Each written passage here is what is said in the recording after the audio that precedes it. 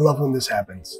We give the clients the biggest problem that they should have, which is running out of inventory and ordering more inventory.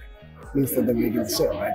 So I want to share with you this this really quick message that we got from this client.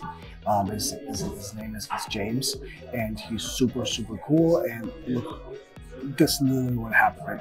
So we started conversation September 13, and then seven days ago we delivered everything. He uploaded the content, and then he got back to us with this: "Go to work. Your product is selling well, and in fact, I'm stuck now.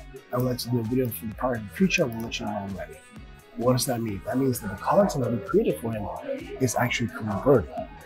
This is huge. Why is this huge? Because buyers are understanding that they need this product. When they click it, they buy it. They actually need conversions. Extremely important to have. What did we do for, for James? We did photos with um, lifestyle hero and infographics. So as you can see here, these are all the images that we created. We created four hero images. We created all the other ones, right? At the same time, we also created A and A plus content. And this is his listing. So as you can see, it's, it's a very nice listing. The idea here is to get that connection with the client, to get that connection with our clients, obviously, but get the connection with the seller and the buyer. When the buyer clicks there, he has to understand how he feels about this product and get and make him want to buy that. You want to engage that feeling. You know, you, you want to engage that, I need this right now. Let me go buy it.